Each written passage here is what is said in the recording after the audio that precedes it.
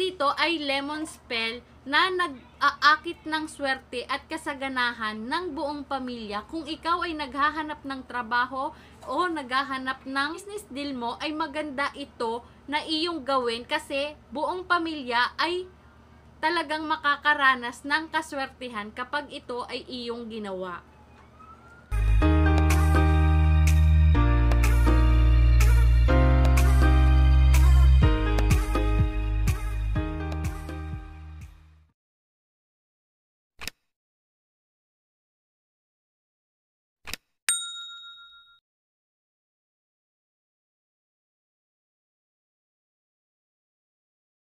Hello guys! Welcome back to my channel. It's me, Christina. At kung ikaw ay bago lamang dito sa channel ko, mag-subscribe ka na at i-click mo yung tiny bell para maging updated sa aking mga video.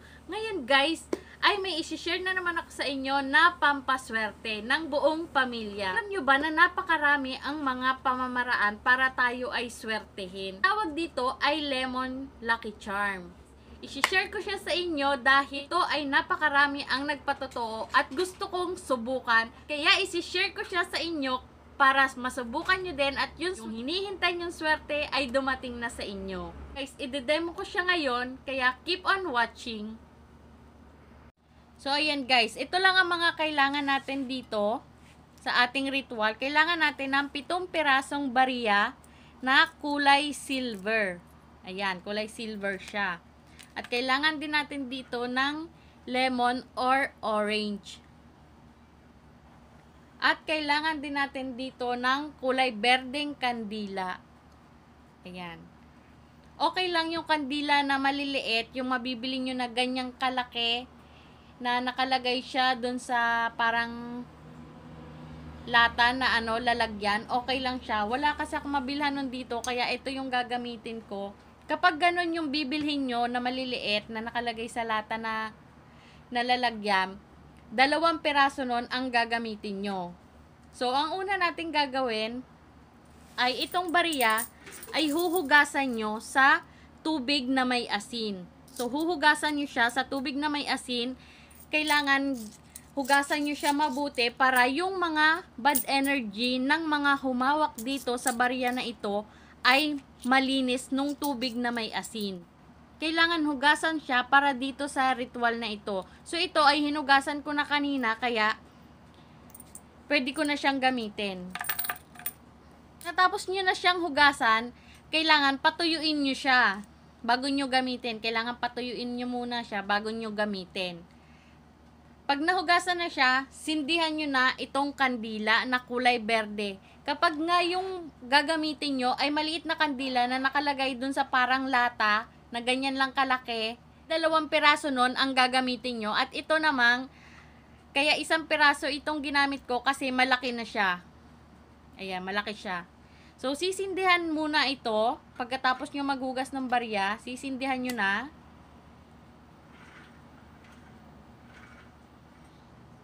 So, ayan. Kailangan may sindi na yung kandila nyo kapag gagawin nyo itong ritual na ito. Itong lemon or orange na gagamitin nyo ay bubutasan nyo dito na kasya lang yung barya. Nakasya yung barya. So, ganito lang ang gagawin nyo. So, guys, mag-ingat kayo kasi gagamit tayo dito ng kutsilyo kung kayo ay bata pa na gagawa nito, kailangan nyo ng gabay ng magulang nyo or ng nakakatanda sa inyo para hindi kayo masugatan dito sa kutsilyo na gagamitin natin. So, mag-ingat lang kayo kapag gagawin nyo ang ritual na to para hindi tayo masugatan. So, ganito lang.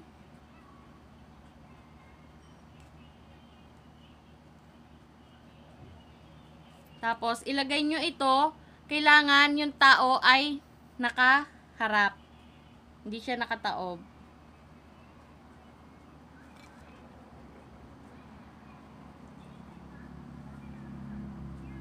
So, ayan, ganyan. Ganyan ang style niya. Tapos, sa susunod, dito naman.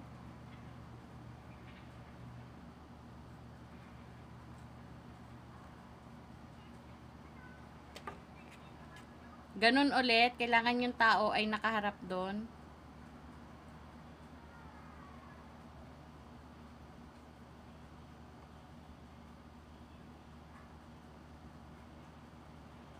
So, ayan, ganyan.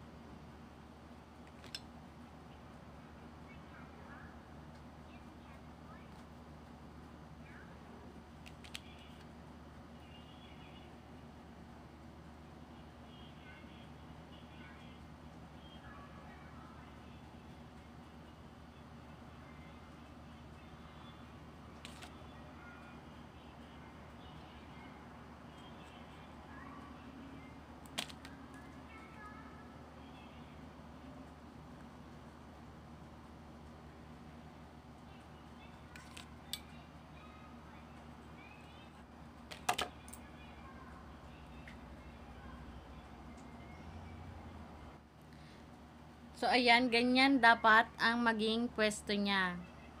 Ayan. Yung mga tao ay nakaharap pataas. Ayan. Tapos, itong isa ay dito natin ilalagay sa tuktok.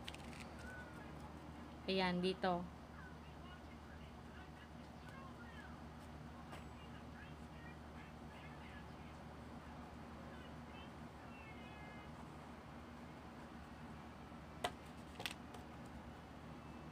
Kailangan ay yung tao ay nakaharap.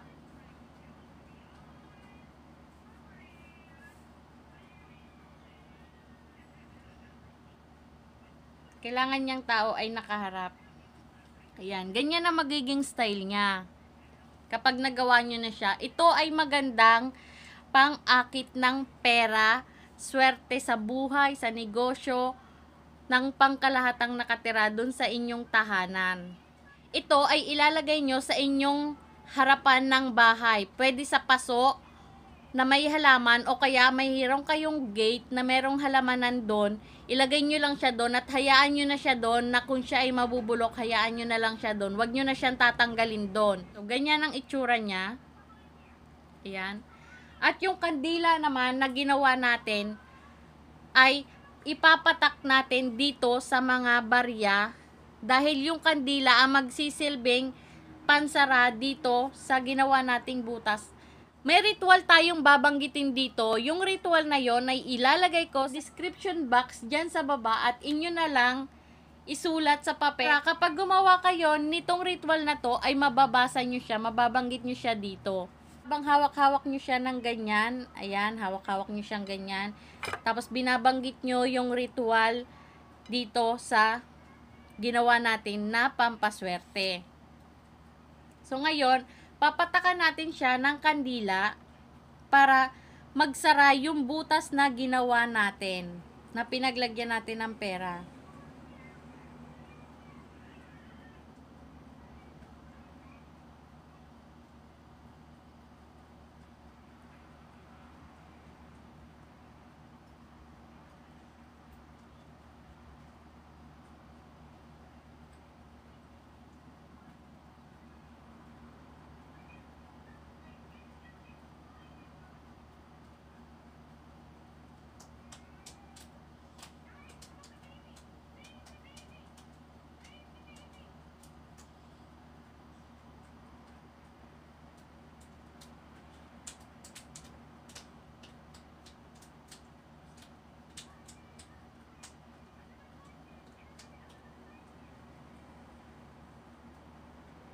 Tapos, patayin nyo na yung kandila. Kapag natapos nyo na siyang gawin, patayin nyo na yung kandila. So, ayan guys, nakita nyo kung paano siya gawin. Ito na, magiging itsura niya. Yung ritual na babanggitin nyo ay isusulat ko dyan sa description box sa baba. Ang ritual na yon ay babanggitin nyo dito ng tatlong beses nang hindi pa nap napapatakan ng kandila. Halimbawa, wala pa siyang patak ng kandila, yan, babanggitin nyo dyan ng tatlong beses yung ritual. At kapag nabanggit nyo na yung ritual ng tatlong beses dito sa ating ginawa na pampaswerte, saka nyo ipapatak yung kandila dito sa bawat binaakan nyo. Sa bawat nilagyan nyo ng barya. Kaya nandito siya sa ibabaw ng barya kasi ito yung pinagbutasan natin. Nandyan yon. Kaya dyan siya ipinatak. So ito guys ay magandang pang-akit ng swerte at kasaganahan umuulan ng swerte at kasaganahan kapag gumawa kayo ng ganitong ritual.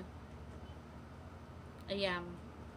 Napakaganda nito sa naghahanap ng trabaho o kung meron ka mang ka-business deal o kaya ay ang pamilya mo ay naghahanap ng trabaho. Kung meron kayong gustong makamit sa inyong buhay, ito ay maganda para dyan. Kasi ito ay umuulan ng swerte at kasaganahan. Kaya meron siya dito na barya. Ito ay parang alkansya ang tawag dito. Parang para siyang alkansya, 'di ba guys? Kita niyo yan, parang siyang alkansya. Tapos meron siya nakalagay dito. Ito ay alkansya na umuulan ng kasaganahan at swerte ng buong pamilya. So ito ay magandang ilagay, magandang ilagay sa harapan ng inyong bahay. Kung meron man kayong halaman o paso doon sa inyong front door sa labas, isama nyo siya doon sa paso. Huwag nyo siyang ibabaon sa lupa. Nakapatong lang siya sa lupa na ganyan. So, kung meron kayo nun, isama nyo siya doon at hayaan nyo na lang siya na mabulok doon. O kaya, meron naman kayong gate na meron ding halaman sa gilid, isama nyo din siya doon sa inyong mga halaman doon at hayaan nyo na lang din siya mabulok doon. Wala nang alisan yun. Basta nandun na lang siya ito ay swerte ng buong pamilya. Lahat ng buong pamilya ay suswertehin dahil sa ritual na gagawin nyo. Guys, yung ritual na babanggitin nyo ng tatlong beses dito ay isusulat ko sa description box sa baba at inyo na lang isulat sa papel para kapag ginawa nyo to sa Friday ay meron kayong babasahin ng tatlong beses dito sa ginawa natin na pampaswerte. Guys, laging yung tandaan na ang mga itinuturo ko dito ay gabay lamang at tanging pagdadasal at paniniwala pa rin natin sa Kanya at sa ating sarili ang makakatulong sa kung ano man ang ginagawa natin sa ating buhay. Kapag gumawa kayo ng ganitong ritual, huwag nyong kalimutang samahan ng gawa dahil ang kailangan talaga natin ay sipag at syaga para makamit natin yung swerte na inaasam natin.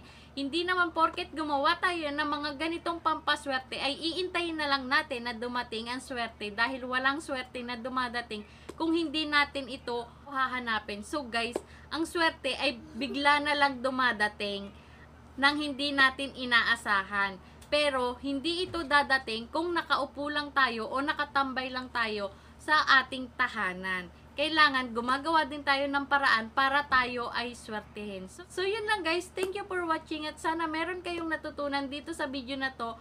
So, bye-bye!